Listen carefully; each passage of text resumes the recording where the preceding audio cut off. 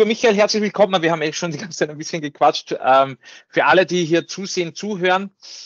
Ähm, der liebe Michael spricht heute über den GitHub Copilot mit einem eigenen Use Case sogar dazu, über den wir schon uns ein bisschen unterhalten haben, vor allem über die YouTube-Recherche, äh, wollte ich schon ins Englische wechseln, über die YouTube-Recherche äh, mit äh, Python Programmieren für Ahnungslose.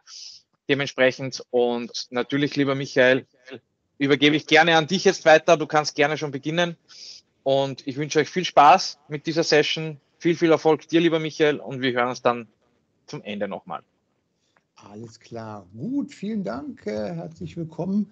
Jetzt an dieser späten Abend. Es ist schon 18.30 Uhr, ist schon spät. Überwindet den toten Punkt. Also, werdet erstmal frisch dabei. Herzlich willkommen ähm, zu dieser kleinen Session, die relativ kurzfristig noch äh, eingestreut worden ist. Äh, mit der ich euch ganz äh, einen kleinen interessanten Use Case da vorstellen möchte. Also fangen wir mal gleich an. Der Titel dieser Veranstaltung ist ja GitHub Copilot, YouTube-Recherche, Python-Programmierung für Ahnungslose. Ähm, ich habe mich mal an ein Python-Projekt gewagt, äh, ohne große Vorkenntnisse, wobei ich werde das gleich ein bisschen genauer erläutern. Ähm, und würde euch gerne mal davon berichten, was ich hier gemacht habe und äh, ich sage mal so, was ich auch für Erfahrungen dabei gesammelt habe, ähm, was man damit Tolles machen kann. So, am Anfang vielleicht nochmal ganz kurz.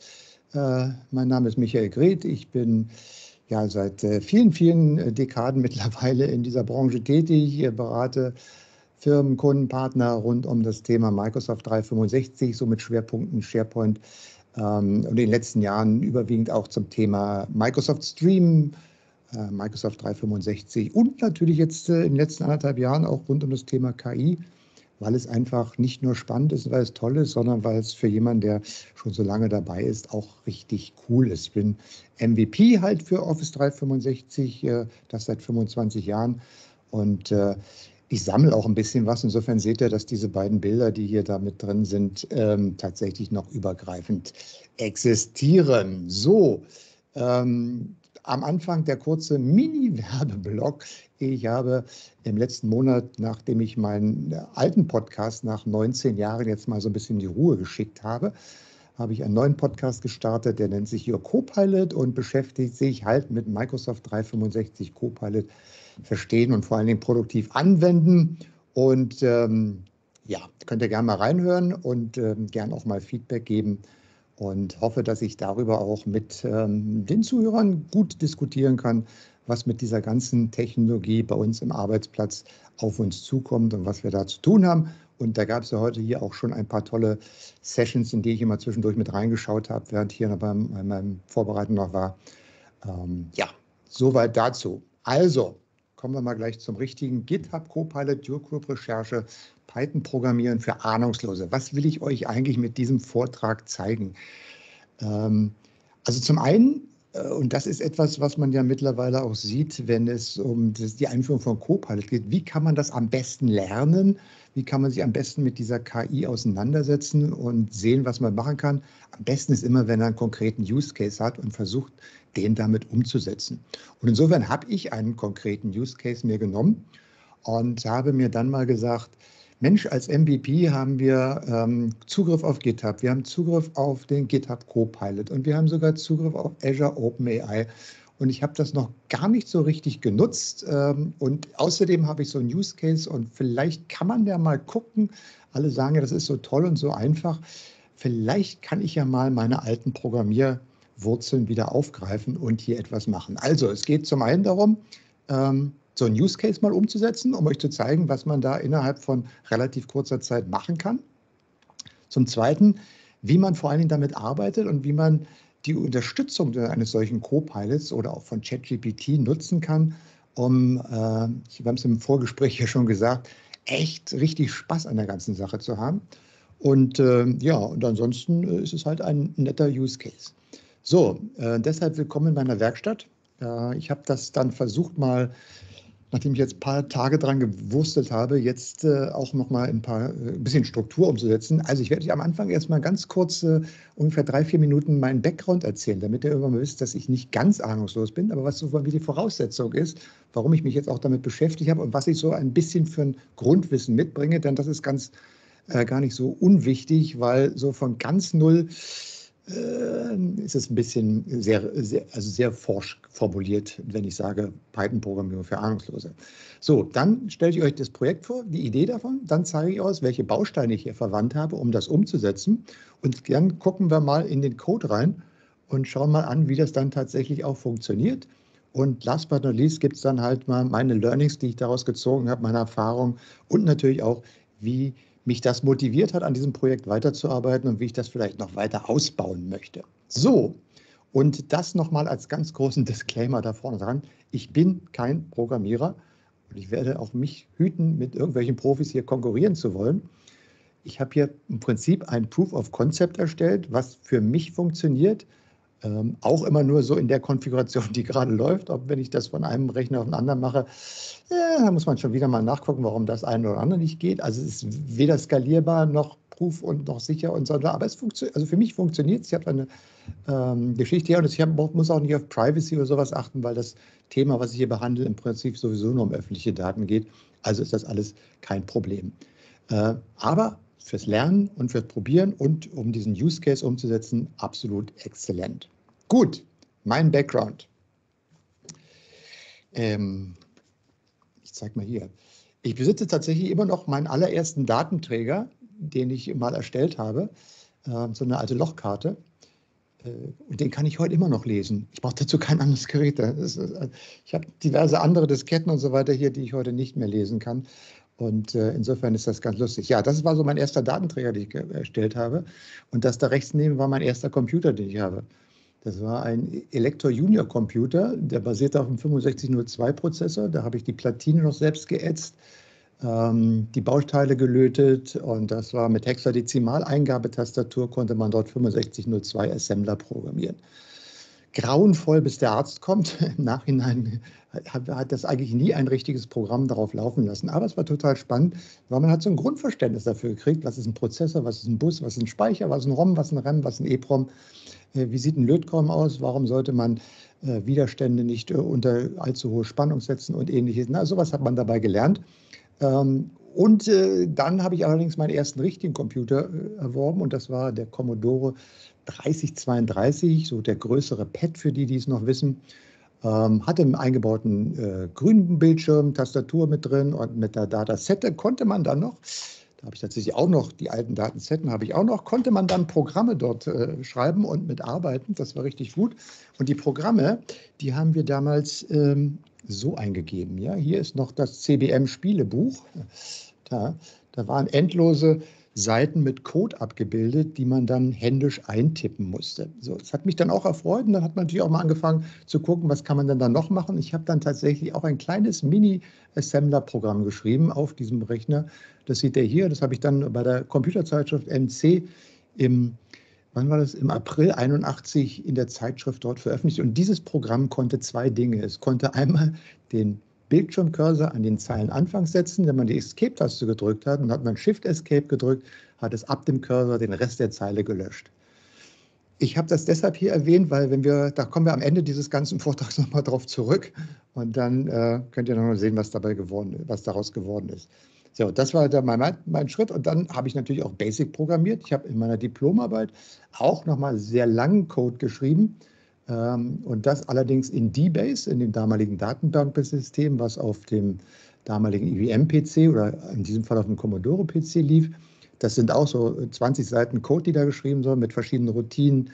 Äh, es ging darum, aus einem äh, Mainframe-System, wo ein äh, Unternehmensplanungssystem lag, die Daten, die dort erzeugt wurden, runter auf dem PC in DBase als Daten zu laden, damit dann für weitere Ausführungen es auf dem PC funktionieren sollte. Und da habe ich halt diese Zwischenstelle geschrieben, ähm, ist heute noch auf dieser Diskette vorhanden, habe ich aber kein Laufwerk mehr vor, komme ich nicht mehr ran.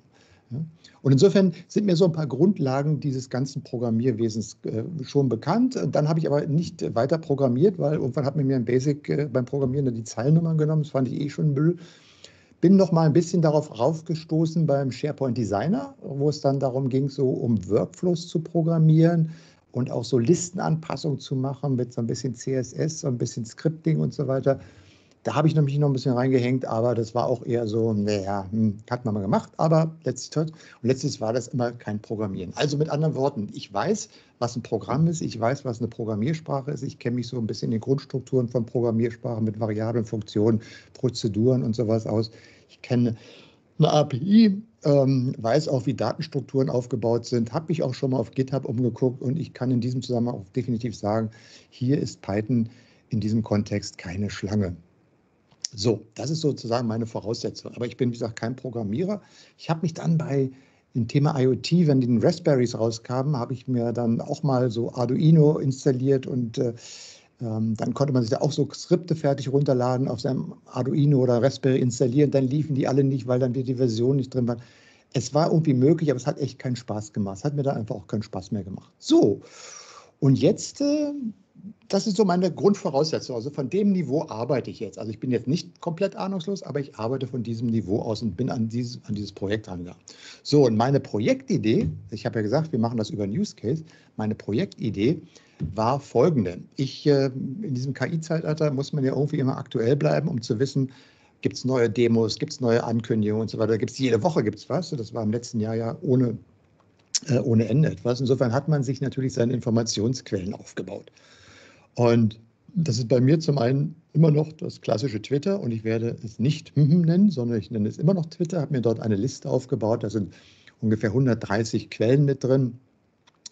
Ähm, wenn ich in die Liste reingucke, sehe ich da halt immer, was da ganz aktuell rund um dieses Thema gepostet wird. Da ist ja viel Werbung und Müll dabei, aber auch immer wieder doch interessante Sachen und man hat einfach auch darüber einfach auch Menschen kennengelernt, die sich dann intensiver und auch richtig gut damit beschäftigen und die vielleicht auch äh, völlig andere Themen behandeln als in unserer Bubble, ja, aus dem Professorenbereich oder ähnliches. Also äh, total spannend. Mein, diese Twitter-Liste ist völlig anders als meine bisherigen Listen, die ich dort hatte von SharePoint und Microsoft 365. Ganz anders. Dann natürlich auf LinkedIn und Facebook hat man auch seine äh, Communities und Seiten, wo man was liest. Aber mein Hauptinformationskanal ist eigentlich YouTube. Und auch da habe ich mittlerweile in meinen Abos ungefähr ein gutes Dutzend von Kanälen mit drin, von Menschen, die entweder jede Woche einmal so eine News-Zusammenfassung machen, die dann auf der anderen Seite auch Projekte arbeiten und zeigen, wie sie in den Projekten arbeiten. Natürlich die Microsoft-Kanäle, wo dann, äh, wie zum Beispiel jetzt gerade vor anderthalb Wochen, dieses zweitägige äh, Bootcamp, was dort kam, wo auch, äh, ich glaube, 13 Videos mit dabei waren, ähm, die man sich dann entsprechend anschauen kann. Und das ist so meine, ähm, meine Informationsquelle. Ja? Und äh, der Schwerpunkt liegt heute auf diesem Thema YouTube.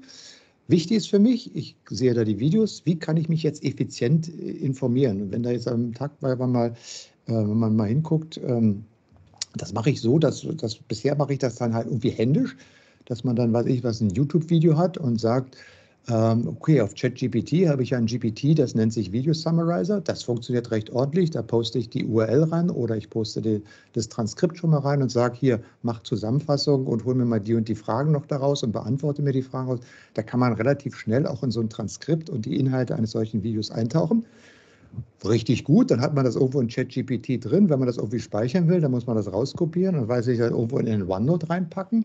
Und dann liegt es da auch. Und äh, wenn man das Video noch dazu haben will, naja, muss man irgendwie den Link dazu stecken. Und wenn man da noch was weitermachen will und vielleicht da wieder ran will, weil man das noch irgendwie auslesen will, dann ist man auch schon wieder, äh, geht nicht so weiter. Also mehr Baustelle. Ähm, dann äh, in, integriert beispielsweise auch bei Chrome kann man sich ja so Plugins installieren, wie zum Beispiel das äh, YouTube Summary mit ChatGPT. Da habe ich dann quasi schon direkt im Videoplayer ein Knöpfchen, wo ich sagen kann, mach mal eine Zusammenfassung darüber. Ja, und ansonsten geht bei vielen Dingen eben auch Cut und Paste halt nach OneNote oder, oder da ich auf dem Mac-System bin, halt auch auf Apple Notes. Und was ich dann auch immer mache, dass man sich mal das ein oder andere Video runterlädt und dann lokal hinterlegt, weil man sagt, ja, für meine Videoproduktion, wenn ich das mal äh, selber dann so ein Video mit einbinden will, dann möchte ich das gerne auch ähm, hier lokal vor Ort haben, damit ich dann nochmal draufgehen kann und, und entsprechend äh, das in meine Videos einbinden kann.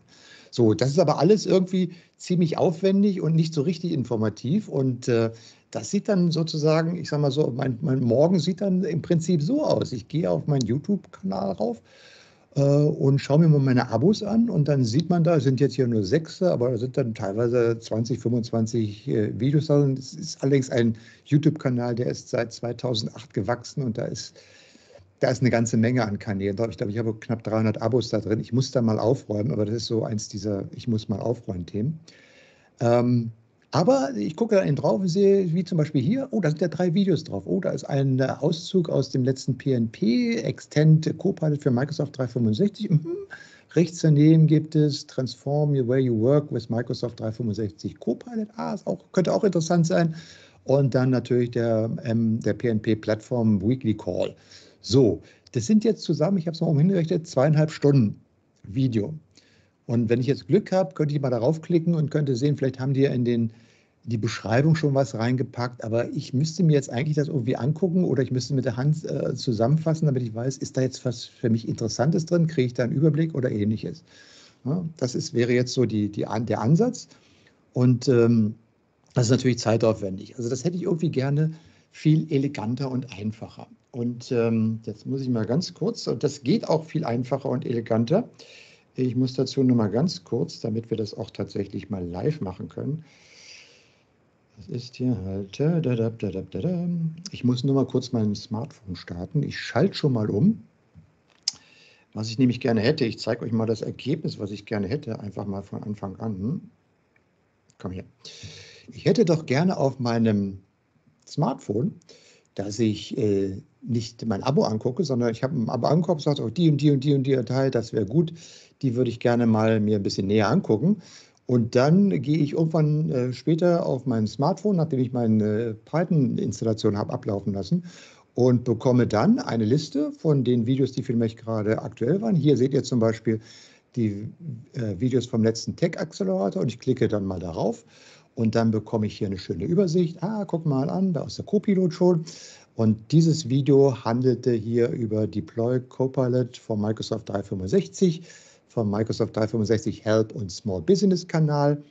Da ist die URL nochmal, dauert 29 Minuten. Ach, der Jeremy ist da schon da. Da ist das Video, Link zum Video. Und dann gibt es hier schon mal eine Zusammenfassung. Also, was kann ich in diesem Video erwarten? Nochmal eine erweiterte Zusammenfassung. Hier gibt es nochmal fünf Keypoints, Hashtags und Fragen.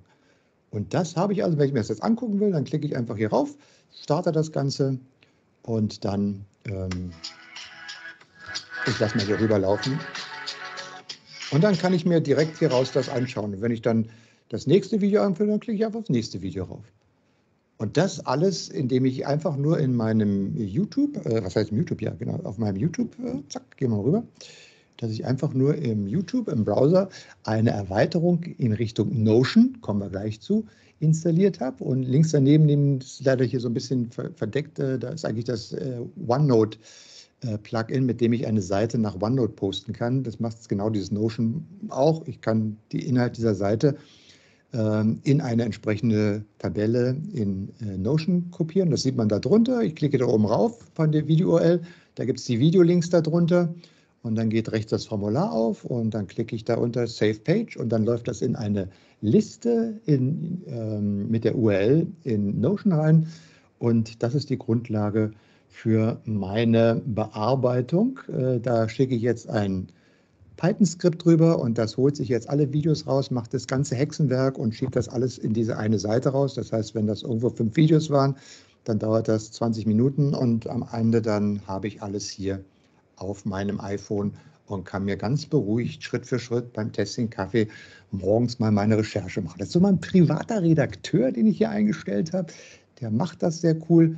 Und ähm, ja, das ist das ganze Skript, das, die Basis, die dahinter steht. Und da gucken wir uns mal an, was da für Bausteine drin sind. Ich habe schon ein bisschen was gesagt.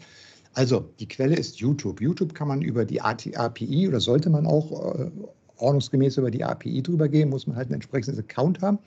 Äh, es gibt aber auch Tools in Python wie PyTube und äh, noch diverse andere, die einfach so Basisinformationen über eine Website herunterladen können, die dann für Bildungszwecke geeignet ist und äh, das setze ich auch bei mir hier ein für die Geschichten. Also ich greife einmal mit, mit dem Skript auf YouTube zu und hole mir einfach mal erstmal das Video, ne, dass ich weiß, ähm, okay, das möchte ich jetzt auswerten. Dann äh, nutze ich für die Transkription dieses Videos, also die Umsetzung von Sprache in Text, Whisper. Ähm, das ist ein Modell, was auch lokal auf Mac läuft. Äh, nutze ich deshalb, weil ich das in, in, der ersten Demo, die ich mir dazu angeguckt habe, gesehen habe. Deshalb habe ich das so eingerichtet. So, nachdem dann das Video sozusagen heruntergeladen ist, transkribiert ist und ich all diese transkribierten, äh, die transkribierte Datei und die Videos bei mir auf der ähm, SD, SSD liegen, dann kommt der nächste Schritt, dass ich sage, so, jetzt nimm das Transkript und schicke es an OpenAI, äh, 3.5 oder 4, je nachdem, was ich gerne hätte, und äh, verarbeite mal folgendes Prompt und gib mir mal das entsprechende Summary oder die Auswertung aus der Generative AI zurück und speichere das auch wieder lokal ab. Das war so der erste Schritt. Und der zweite Schritt, äh, wie gesagt, ich habe auch Azure OpenAI und dachte mir, wäre mal gut, wenn ich das mal auch damit ausprobiere und habe mir dann eigentlich auch den Zugang zu Azure OpenAI aufgebaut und kann jetzt eben zwischen diesen drei Modellen wählen und sagen, mach das mit der, mit dem oder mit dem, je nachdem, was ich dort einsetzen will. Und das fasst mir halt die Transkription zusammen und schickt mir die Transkription auch wieder lokal auf meine SSD. So, das ist praktisch so die, die Core-Funktion. Und um das Ganze jetzt eben äh, so schön zu gestalten, dann nehme ich halt Notion und ähm, äh, nehme es einmal, um die Liste, sozusagen die Playlist hier zusammenzufassen von den Videos, die ich transkribieren möchte und auf der anderen Seite, um nachher die Präsentation der Ergebnisse zu machen. Leider kann man äh, eine YouTube-Playliste, die kann man halt nur über die API vernünftig abfragen. Insofern konnte ich da eine Playliste nicht mitmachen. Aber ist auch nicht so schlimm. So, und dann kommt noch hinzu, letzte Technologie hinzukommt, verschiedene Skript- und Programmierwerkzeuge, einschließlich Verwendung von ChatGPT, GitHub Copilot und ähm, zur Einrichtung und Entwicklungsmedium, allem drum und dran. Habe ich alles dort entsprechend mit eingesetzt. So, kommen wir mal zu dem Thema, warum eigentlich Notion? Kennengelernt habe ich das auch erst durch KI, weil in diesem ganzen Generative KI und der KI-Umfeld, äh, seitdem ich damit äh, auf, auf Twitter und so weiter verbunden bin, wenn da irgendjemand äh, weiß ich was, die 5000 tollen Tipps zur Verfügung stellen, dann ist das irgendwo auf Notion oder ähnliches. Dann guckt man sich das an und sagt, ach ja, Notion, sieht ja gut aus. Das ist ja so eine Verbindung. Eigentlich ist das ja so, äh, ist so wie OneNote, Loop und SharePoint-Listen für mich so in einem rund äh, integriert, perfekt aufzubauen und richtig einzubauen. Ich hätte es gerne auch mit diesen drei anderen Tools gemacht. Ähm, aber funktionell würde ich das gar nicht hinbekommen auch die, dieser Zugang ist zu kompliziert dazu. Und ich glaube, funktionell geht das auch gar nicht. Und insofern ist für meinen Zweck jetzt auch Notion ähm, relativ simpel. Ich habe tatsächlich auch die Free-Version, ich habe noch nicht mal die Paid-Version und es geht alles damit. Und das war einfach jetzt schon mal der K.O.-Grund dafür. So. So viel zu nennen. Das sind die Tools. Aber die Tools habe ich auch erst so nach und nach, äh, habe ich mir vorgegeben und gesagt, okay, so und so müsste das gehen. Das ist ja auch iterativ passiert. Also erstmal YouTube runterladen, transkribieren, dann hast du das. Und dann nächster Schritt, ah, mit ChatGPT äh, Summary machen, okay, hast du auch. Und der dritte Schritt ist dann halt ähm, die Präsentation und Automatisierung mit äh, über Notion. So, und dann, ähm, was habe ich dann eigentlich jetzt tatsächlich mit, äh, was musste ihr machen? Das erste war Einrichtung einer Entwicklungsumgebung auf dem MacBook unter Verwendung von Visual Studio Code, Python, virtuellen Umgebungen, um das System nicht zu überladen. Und das war das Erste, was ich gemacht habe. Das habe ich allerdings jetzt nicht aktuell gemacht, sondern das hatte ich schon im letzten Sommer gemacht, als Vorbereitung zur Internet Reloaded, wo ich nämlich einen Workshop gehalten habe, wo ich auch schon mal ein angepasstes Python-Skript äh, mit einem simulierten Chatbot äh, vorgeführt hatte und hatte mir das selber in Visual Code dort schon installiert. Aber der Voraussetzung war, ey, ich habe ein MacBook, ich möchte jetzt Visual Code installieren und eine Umgebung haben, wo ich Python mit programmieren kann. Wie mache ich das? Ähm, das kann man sich natürlich ein YouTube-Video anschauen, habe ich auch gemacht, ein erstes YouTube-Video. Und dann habe ich aber nochmal ChatGPT gefragt damals, sag mal, mach mir doch mal eine Anleitung, was soll ich machen? Naja, und dann gibt es halt die verschiedenen Tipps und dann, das geht dann mit ein bisschen Fleißarbeit, äh, ist das dann äh, in, in, einer halben, dreiviertel Stunde hat man das auf seinem Notebook eingerichtet. Und äh, Anmerkung, etwas später habe ich mich dann noch mit den virtuellen Umgebungen, also VENV äh, in Python beschäftigt, wo ich quasi äh, nicht alles in mein MacBook reinschmeiße, sondern einfach in eine virtuelle Umgebung. Das landet dann in einer riesen Dateiwolke. Ich habe heute das gerade mal kopiert, da sind irgendwie 39.000 Dateien drin in dieser 1,2 Gigabyte Virtual Environment. Auch interessant. Ähm, und habe mich damit erstmal beschäftigt, damit ich nicht mein, mein Notebook da und alles voll haue. Und außerdem möchte ich es gerne ja auf, hier auf so eine SSD haben, damit ich es von einem Rechner zum anderen mitnehmen kann. Das wäre ideal oder auch vielleicht mal in einen Codespace auf GitHub überführen kann. Aber gut, das ist, äh, alles mit Unterstützung von Copilot, ChatGPT abgefragt, habe ich alles halbwegs hinbekommen. Es gibt immer noch Punkte, wenn da mal eine Fehlermeldung kommt, die dann irgendwie mit SSL-Zertifikaten oder so weiter arbeitet. Ah, dann wird es kritisch, dann gehen, sind meine Kenntnisse sowieso an, der Grenze und dann findet man auch nicht unbedingt die richtigen Lösungen, aber vom Prinzip her läuft das schon. So, und das war dann das Erste und dann kam als nächster Schritt, und das gehen wir ganz kurz, äh, sage ich im Prinzip nur, was ich dann gemacht habe, kam natürlich erstmal dieses Ding, äh, wie greife ich auf die Videos zu, wie lade ich sie mir runter und wie mache ich eine Transkription, Schritt 1. Schritt 2 war dann, wie mache ich aus der Transkription mit einem Prompt über OpenAI oder Azure OpenAI ein entsprechendes Summary und speichere das lokal. Und das dritte ist dann, wie baue ich das halt in diese Notion-Abwicklung ein, dass ich irgendwo eine Liste habe, wo alle Videos drinstehen, äh, die ich dann verarbeite und äh, die dann in eine Notion-Tabelle eben so wunderschön präsentiert und angezeigt werden können. So, und das war im Prinzip das, was ich machen wollte. Und das ist halt Programmieren mit Copilot. Das ist die Unterstützung von Copilot. Und mein Ausgangspunkt dazu war, nachdem das alles installiert war, habe ich erstmal gesucht, gibt es denn irgendjemand, der schon mal gesagt hat, wie man automatisch ein YouTube-Audio sozusagen transkribieren kann. Also mit dem Runterladen war mir relativ schnell klar, da kann man mit, mit, mit PyTube was machen und das ist, ist jetzt keine Raketenwissenschaft, das ist ein Dreizeiler und dann läuft das. Aber wie mache ich das denn mit der Transkription? Muss ich das auch im Cloud-Service machen oder kann ich das auch lokal machen? Da bin ich hier auch bei jfdaily.net auf diesen Blogartikel gesprochen. Der hat das sehr gut beschrieben, hat auch ein GitHub-Repository gemacht und das war so die erste Grundlage äh, meines, äh, meines ersten Skriptes, was ich mir genommen habe, habe mir angeguckt, was da mit drin ist. Und äh, dann würde ich sagen, wir switchen mal rüber. Wir switchen mal rüber auf meinen äh, Development Map, Mac. Mac. Ich habe eine, eine Entwicklermaschine. Ha, wer glaube, glaubt ja keiner, das hätte jemals mal sagen sollen.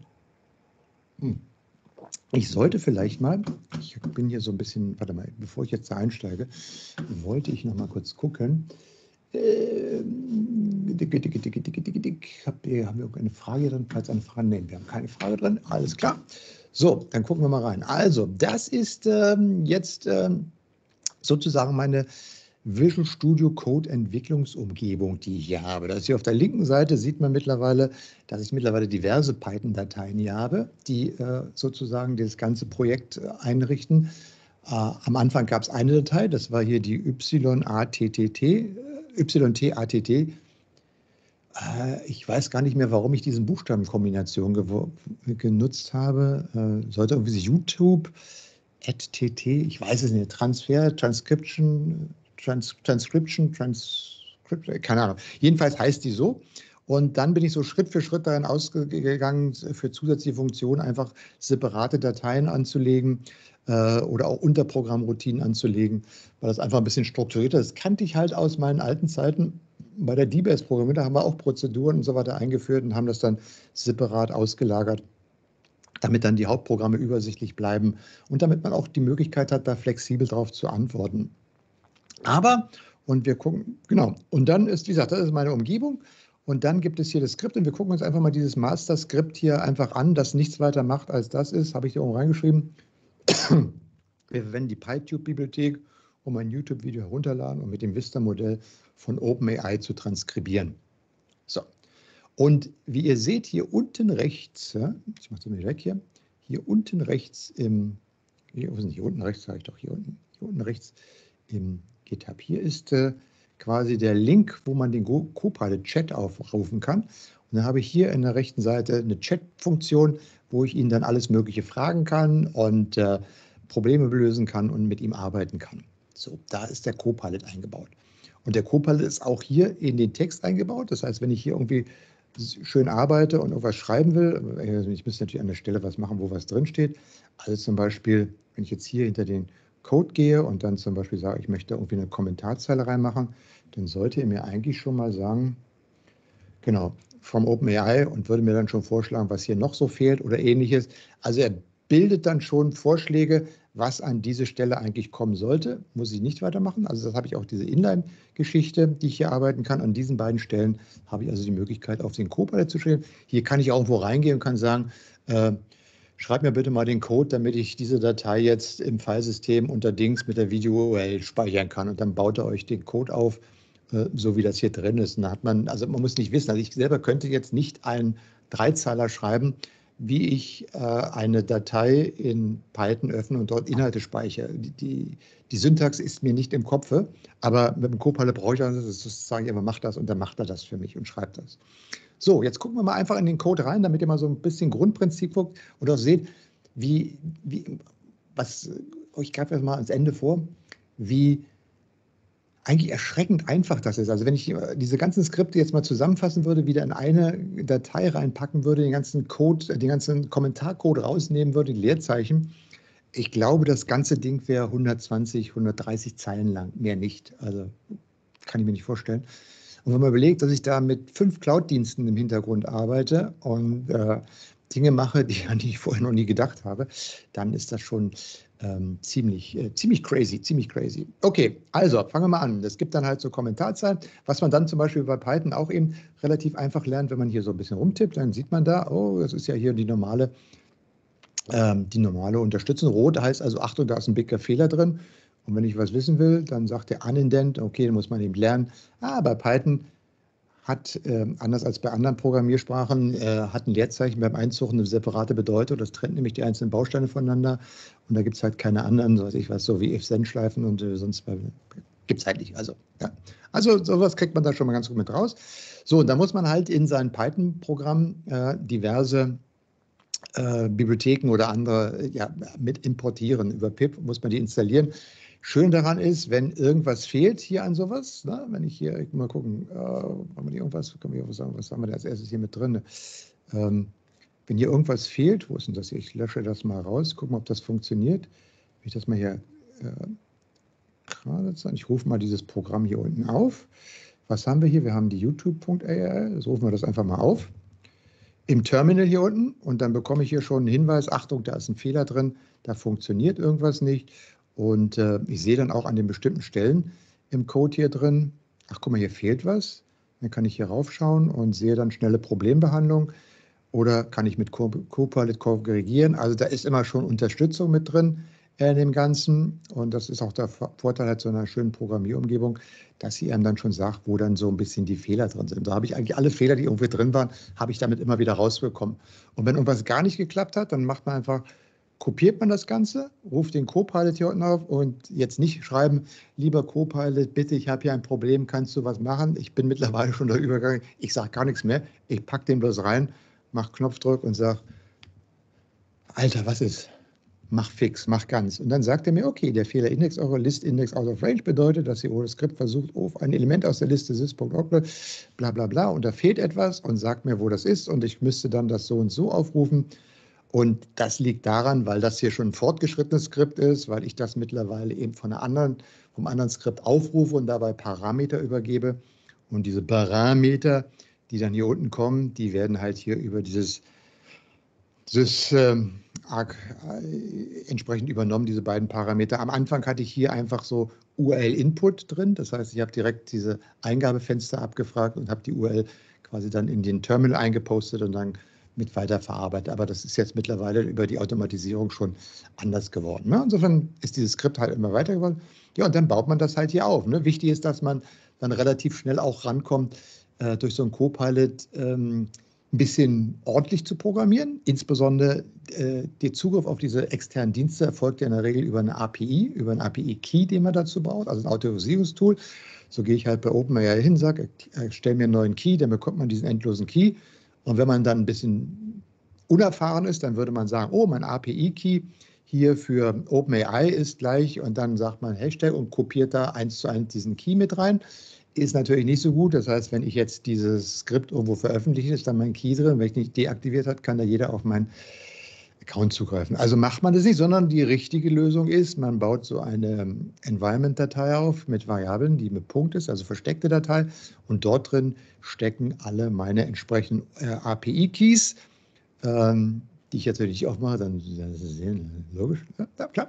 Und ähm, die kann man sich aber hier einlesen und dann lese ich mir jetzt also hier die OpenAI-Key ein. Auch von Azure lese ich mir die Keys entsprechend ein. Da ist dieses Einrichten etwas komplizierter weil man da quasi erst so ein Endpoint installieren muss über das Azure-Portal. Ich bin kein Spezi im Azure-Portal, aber auch das habe ich relativ einfach hinbekommen. Und zwar einmal, wenn man erstmal weiß, wo in dieser endlosen Navigation vom Azure-Portal das drin ist, dann ähm, ist es auch relativ einfach, das einzurichten, insbesondere wenn man kurz vorher nochmal ChatGPT gefragt hat oder tatsächlich in meiner Doku nachguckt, wie das geht. Also auch kein Problem.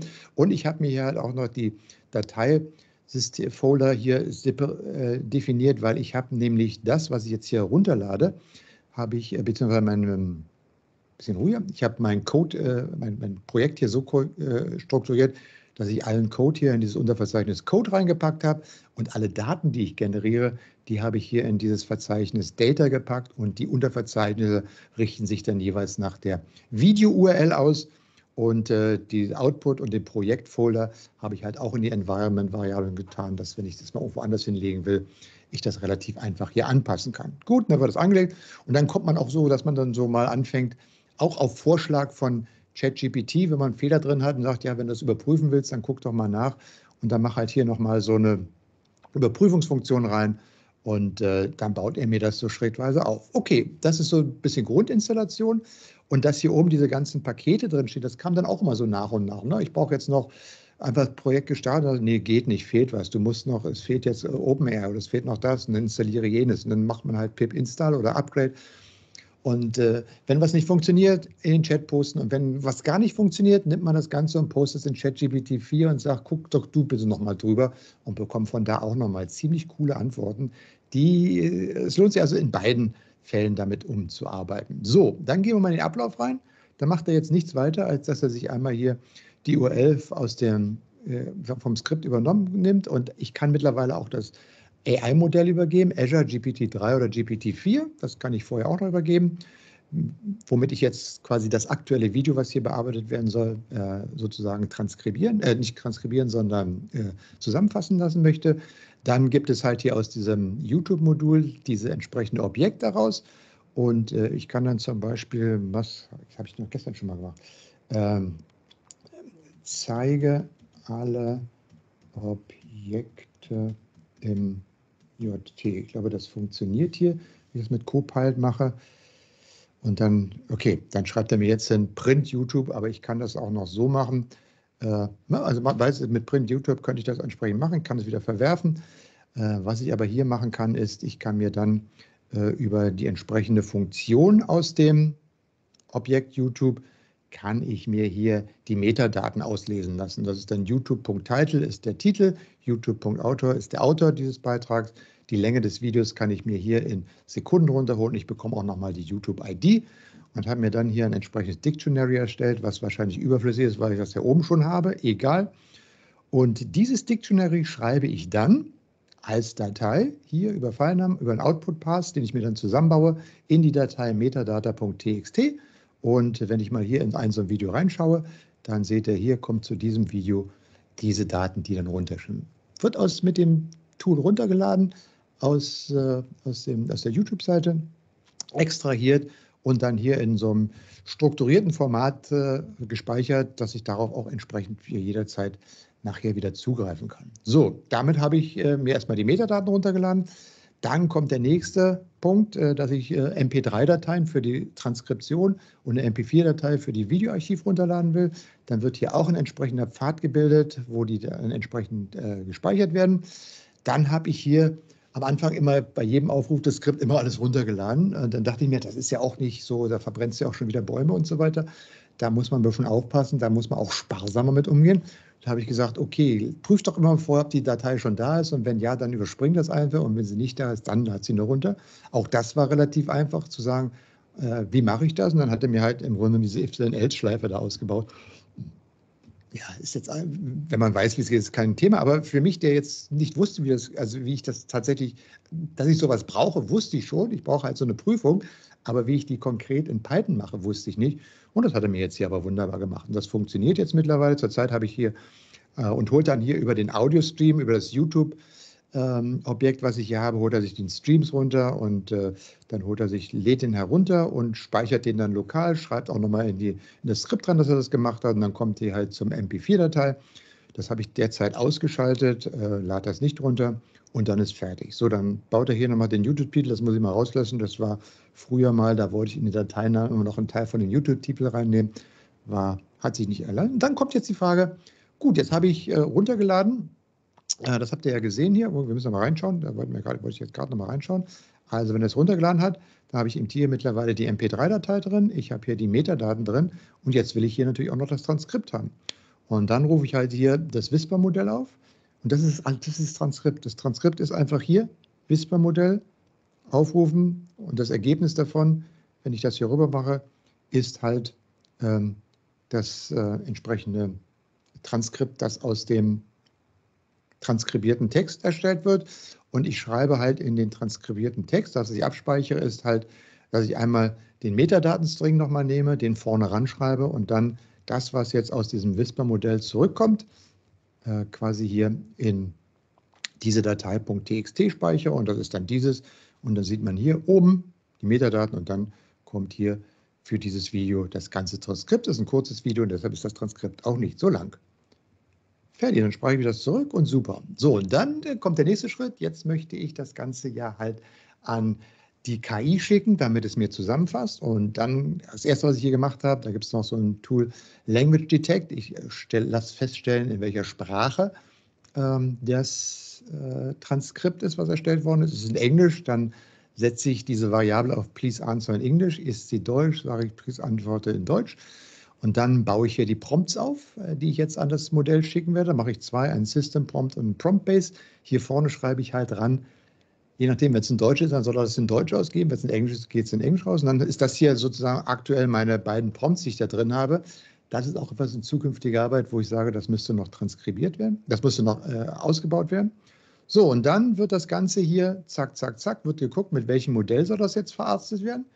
Wenn das mit Azure ist, dann geht es hier über Azure, ansonsten geht es über OpenAI und der ruft dann jeweils immer diese entsprechende API auf, die ich ja auch extern rausgeschlüsselt habe. Ja, sie ist, ist extern verteilt, das heißt, ich kann, das ist der Vorteil jetzt an meinem Skript, wenn ich hier nochmal zurückgehe, äh, ich habe jetzt drei Modelle drin, wenn jetzt aber irgendwie Claude mal hinzukommen sollte oder ich mache einen Mistral oder was da immer kommt, ist es für mich relativ einfach, dieses zu erweitern, indem ich einfach einen neuen Baustein einfüge und sage, und wenn dann MIS ist, dann nun nehmt das und dann kann das hier jeweils auf die Eigenarten gehen. Und dann wird das halt dann transkribiert und ähm, dann ist er mit dem Ding auch fertig, weil das, was da zurückkommt, speichert er dann, äh, geht dann, also nee, speichert er nicht ab, sondern wenn wir mal in die Azure API gehen, dann lädt er sich das hier rein, äh, arbeitet das Ganze ab, schickt also hier authentifiziert sich beispielsweise bei Azure OpenAI, gibt das Modell rüber, mit dem gearbeitet werden soll, gibt die beiden Prompts rüber, die rübergehen soll, kann dann hier noch die Konfiguration machen, Tokens und so weiter und so fort. Und anschließend extrahiert dann der zurückgehende Text, wird dann entsprechend in der, im Verzeichnis gespeichert unter diesem und dann hat man hier das wunderschöne analysierte Transkript. Und das ist, äh, und das ist es. So, und das ist praktisch diese. Und dann gibt es halt, äh, das nächste ist dann, ähm, und das ist so quasi das, was ich jetzt hier in der Grundstruktur gemacht habe. Und das ist immer so in dieser Interaktion mit, wenn irgendwas nicht geklappt hat, hey, äh, GitHub, sag mir mal, warum funktioniert das nicht? Kannst du das fixen? Habe ich was falsch gemacht? Und dann kam dieser Hinweis und dann äh, kann man das nicht umstrukturieren und so weiter. Interaktiv schrittweise lernen. Und das große, coole daran ist, ähm, dass das ähm, richtig Spaß macht, weil man relativ schnell immer wirklich auch zum Ergebnis kommt und hier weiterarbeiten kann. So, ähm, jetzt gucke ich mal auf die Uhr. Wir haben noch zehn Minuten, das reicht. Ich gehe jetzt mal ganz schnell noch durch das nächste.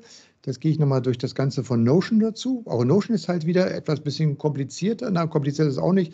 Äh, Notion hat den großen Vorteil, das sind eigentlich Seiten. Auf den Seiten werden Blöcke platziert und jeden Block kann man einzeln adressieren und ansprechen. Und genau das mache ich im Prinzip hier auch. Ich stelle eine Verbindung zu meinem Notion her und das können wir mal hier nochmal aufrufen. Ich habe das, glaube ich, hier, ich habe das hier irgendwo geöffnet. Wo ist denn hier? So, ähm, ich kann hier auf der Seite einzelne Blöcke hinzufügen. Das sind alles Bausteine, die hier eingebaut sind. Ne? man will, kann man hier einen neuen Block, äh, ich mal hier unten runtergehe, an die Stelle. So, ich gehe mal, nee, halt nicht ganz runter, so hier unten. Und ich sage jetzt mal hier ähm, Kommandos und dann sieht man hier, was man alles hinzufügen kann.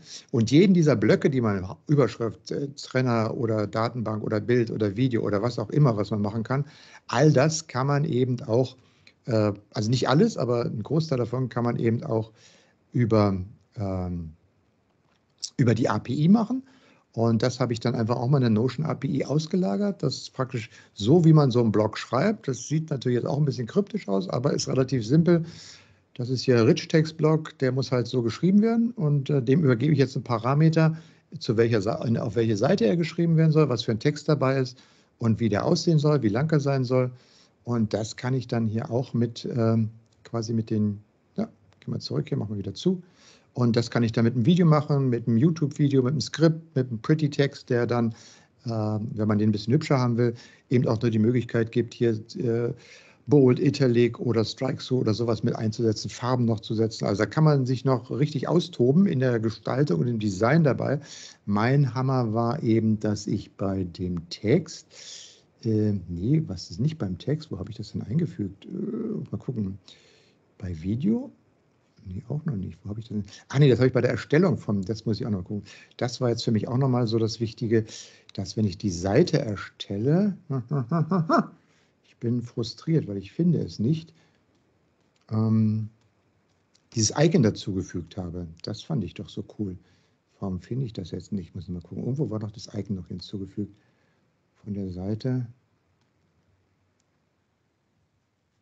Irgendwo habe ich auch noch den, das Icon an die Seite angefügt.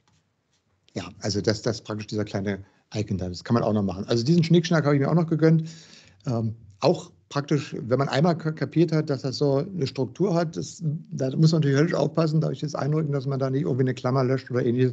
Aber kann man im Prinzip auch alles lösen mit Hilfe von Copilot oder einfach, indem man das einfach nochmal checkt. So, und damit ist dann die Notion API auch gemacht und dann das Ganze mit der Playlist und dann kommen wir, gucken wir mal, wie das Gesamte funktioniert. Playlist ist jetzt eine Funktion, die jetzt nacheinander Folgendes macht. Die geht jetzt hier quasi ähm, die rufe ich auf und die startet mit dieser, mit meiner Tabelle äh, hier in Notion, wo ich alle meine YouTube-Videos abreine. Machen wir das mal. Jetzt nehmen wir mal dieses hier, Employee Quick Setup. Ich rufe dieses Video auf, klicke hier oben auf die Notion. Ja, sag mal ruhig. Klicke jetzt hier oben auf YouTube-Links und sage, speichere mir diese Seite. Jetzt hat er sich diese Seite hier äh, gespeichert und ich gehe jetzt mal in meinen Notion rein und gucke mal hier in die YouTube-Links.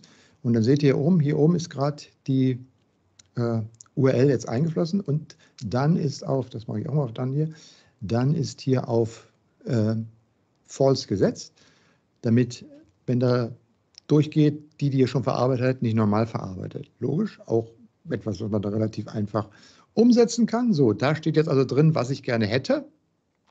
Dann gucke ich hier rein und genau das macht er jetzt auch. Und dann geht er hier rein, sucht sich das Modell raus, das ist hier hinterlegt, ähm, ruft dann die verschiedenen Paths auf und äh, baut dann hier einfach nochmal, liest die Notion-Datenbank aus, holt sie das also raus. Und solange das dann true ist, zieht er sich Quaren nacheinander raus, macht dann erstmal Python 3 Notion und macht jetzt seit neuestem auch noch 11 Labs. Und das gucken wir uns jetzt mal an, wie das funktioniert.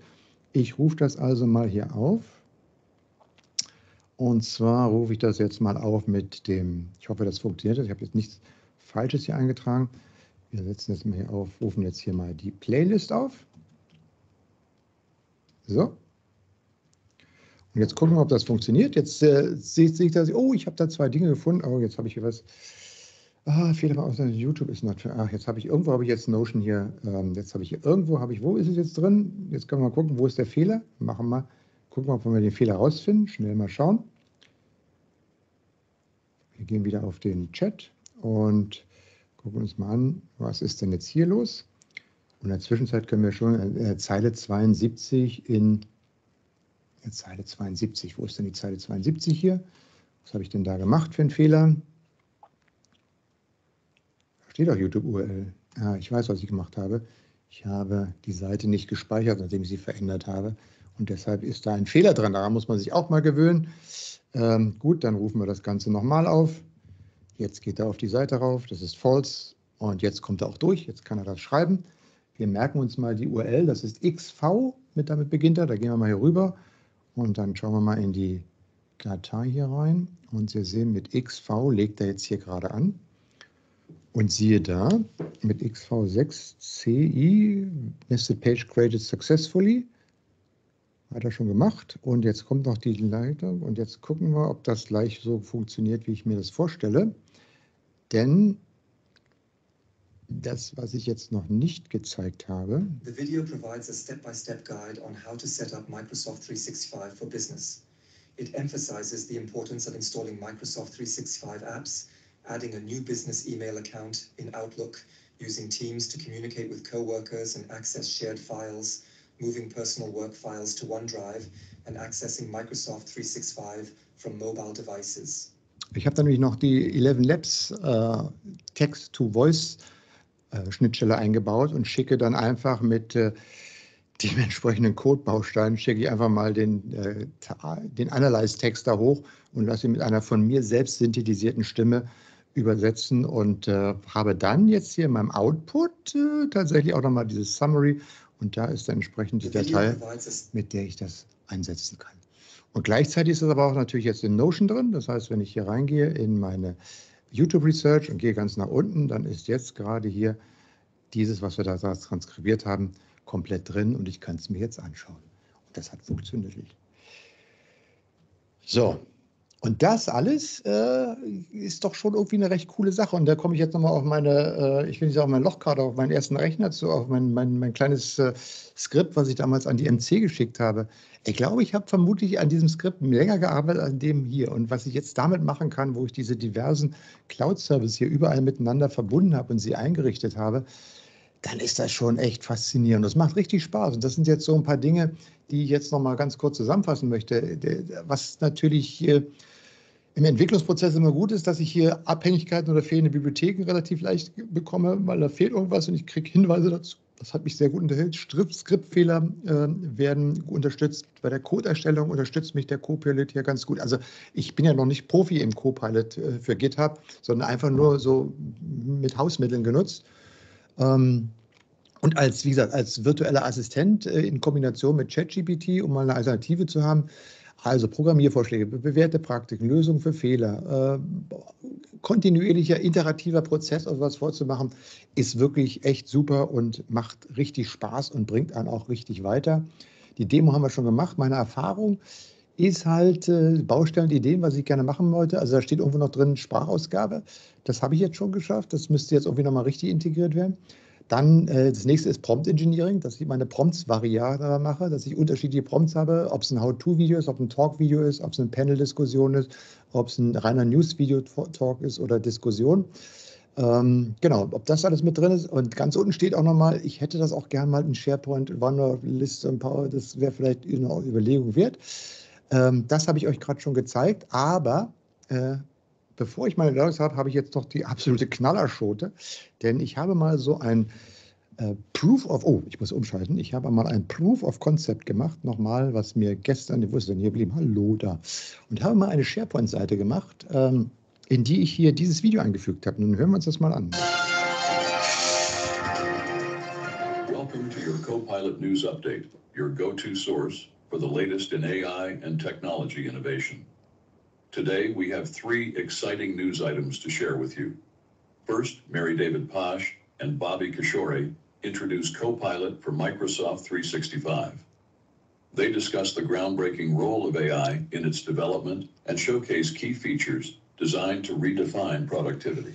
So, ihr könnt vorstellen, dass das hier eine SharePoint-Seite ist. Oben ist ein News-Ding, der hat die drei aktuellen Summaries aus den Transkripts, aus den Summaries von, von Gen AI mit eingebaut, äh, packt hier die Videos mit rein. Und äh, dadurch, dass ich hier in, äh, in, ähm, in Stream drin bin, habe ich hier auch entsprechende Marken reingesetzt. Ich hoffe, da mal in Zukunft mal direkten Links zu machen, dass man an der Stelle dann auch direkt in die darunter positionierten Videos gleich verzweigen könnte. Das wäre doch eine coole Geschichte, wenn man sowas mit einrichten könnte. Ist ein bisschen gefaked, ist aber komplett mit den, äh, das Video habe ich selber noch manuell schneiden müssen, war aber ähm, Ja, und dann hätte ich da quasi morgens eben nicht meine Videos mehr anzugucken, sondern ich hätte meinen Automaten, der mir quasi gleich das sozusagen aufs Ohr gibt, als ein entsprechendes ähm, automatisiert erstelltes Newsprogramm. Das ist nicht mehr weit weg. Äh, mit ein bisschen Fleißarbeit habe ich das auch noch eingebaut. Abschließend meine Learnings. Ähm, ich habe einen super guten Einstieg jetzt nochmal so auch in die Python-Programmierung bekommen und vor allen Dingen die, die Lösung hier umzusetzen, weil letztlich äh, das Python ist eher für den ganzen Schnickschnack drumherum, aber die einzelnen Arbeiten nimmt jetzt komplett diese APIs ab. Es, sind Fünfzeiler für Azure und äh, für GPT und das ist ein Wahnsinn, was man darüber kriege. Äh, es ist Dopamin, habe ich gesagt. Genau, der Spaßfaktor ist immens für mich jeweils, vor allen Dingen, weil man tatsächlich nicht an den Punkt kommt, wo man verzweifelt, sondern man kommt irgendwie immer weiter und man, man sieht immer, es geht weiter, es geht weiter, es geht weiter und nicht wie früher beim bei mir bei der Raspberry-Programmierung, wo ich sage, äh, ich habe keine Ahnung, ich weiß nicht mehr, wie es weitergeht. Äh, das hilft mir nichts mehr. Genau, man hat eine funktionierende Lösung. Ähm, ich bin kein Profi, macht es letztlich das ganze Programmierer überflüssig. Ich mag mich dieser Diskussion nicht an. Und was ich übrigens auch bekommen habe, ist ein Einblick in die Kosten. Denn man kann sich natürlich auf äh, Azure und sowohl auch auf ähm, OpenAI entsprechend die Kostenschätzsysteme. Und hier seht ihr, das hat mich jetzt, was hat es gekostet? 40 Cent hat mich seit 28. Februar die Entwicklung dieses Dings gekostet. So, das, äh, das überspringe ich einfach mal ähm, und sage mal einfach, das war äh, mein kleiner Ausflug in die äh, Programmierung mit Python mit Hilfe von Copilot. Ich hoffe, das hat ein bisschen Spaß gemacht. Und wenn ihr Fragen habt oder auch weitere Informationen haben wollt, schaut bitte gerne auf meine LinkedIn-Seite, vernetzt euch mit mir und ich gebe nochmal zu bedenken, auch der Podcast lohnt sich zu abonnieren. In dem Sinne, vielen Dank fürs Dabeisein und äh, dann stürzt euch jetzt in die Session mit Alex, der euch noch was über Führungskräfte erzählen wird, liebe Sandra. Das ist aber schön, Michael, dass du jetzt deine eigene Session abmoderiert hast. Aber das lasse ich nicht zu.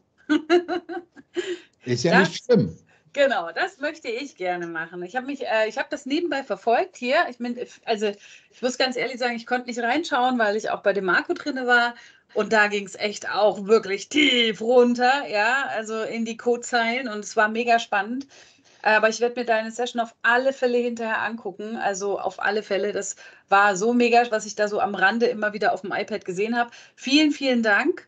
Äh, ich hoffe, euch hat es auch gefallen. Lasst noch mal so einen richtig schönen Reaction da, so ein bisschen schlapp, schlapp, klapp, klapp, Herzchen und äh, sowas hier in der Art, bevor ihr jetzt gleich geht. Wobei, ich glaube, wir sind nur noch zu zweit. Nee, der Urs ist noch da, der Marius ist noch da. Also, wenn ihr mögt, wenn euch das gefallen hat, lasst ein Klätzchen da. Wir werden auf alle Fälle die, die Session noch auf YouTube hochladen. Da freue ich mich auch. Da wird es dann auch nochmal ordentlich Traffic hoffentlich geben. Und äh, dann würde ich sagen, lieber Michael, herzlichen Dank, dass du da warst, auch vor allen Dingen so kurzfristig noch dazugekommen bist. Ja, danke, dass das noch geklappt hat. Genau. Äh, heute hätten wir noch einen Slot frei gehabt, weil wir noch einen, einen Ausfall hatten spontan. Aber so ist das Leben. Ähm, ganz kurz, am, am 19. ist in Berlin ja Microsoft AI Tour und ja. ich bin am Community Hub. Also falls jemand vorbeikommt, kann er gerne vorbeischauen.